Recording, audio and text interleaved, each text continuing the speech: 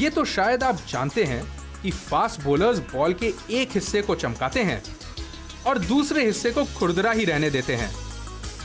इससे गेंद फेंकने पर खुरदरी सतह पर हवा का फ्लो टर्बुलेंट हो जाता है। खुरदरी सतह पर एयर प्रेशर शाइनी साइड के मुकाबले कम होता है और गेंद खुरदरी सतह की तरफ़ मुड़ जाती है।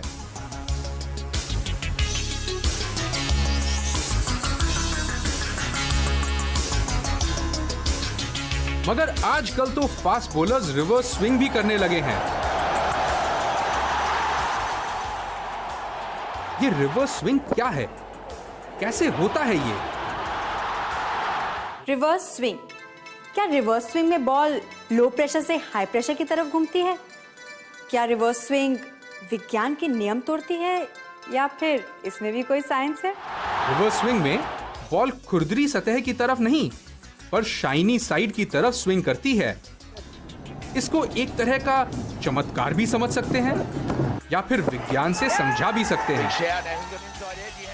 बॉल के पुराने होने पर एक ऐसा मोड़ आता है, जब बॉल की खुरदरी सतह का वज़न दूसरे हिस्से के मुकाबले हल्का हो जाता है। हालाँकि एरोडायनेमिक्स के सिद्धांत ये कहते हैं कि गेंद लो प्रेशर की तरफ़ यानी कि खुरदरी साइड की तरफ़ स्विंग करे। जब बॉल का एक हिस्सा दूसरे हिस्से से बहुत भारी हो जाता है, गेंद फेंकने पर शाइनी साइड का वज़न ज़्यादा होने के कारण बॉल शाइनी साइड की तरफ़ स्विंग करती है। और इसी को रिवर्स स्विंग कहते हैं।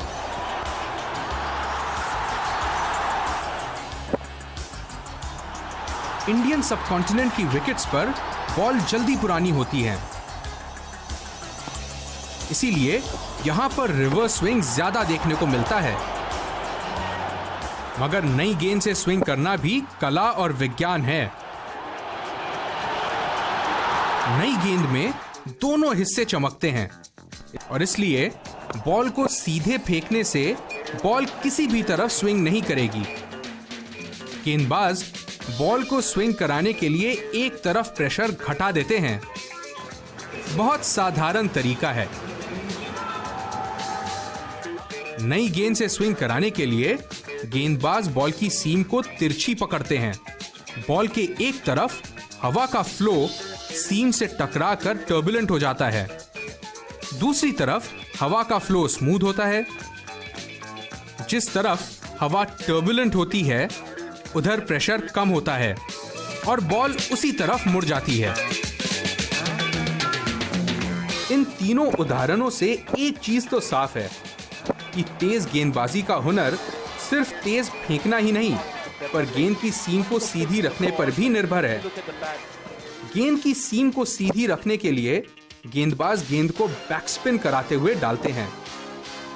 गेंद की बैकस्पिन की वजह से जायरोस्कोपिक एक्शन काम करता है। अगर गेंद की सीम थोड़ा सा डगबगाए तो स्पिन की वजह से उल्टी दिशा में टॉर्क लगता है, जो सीम को सीधी रखता है।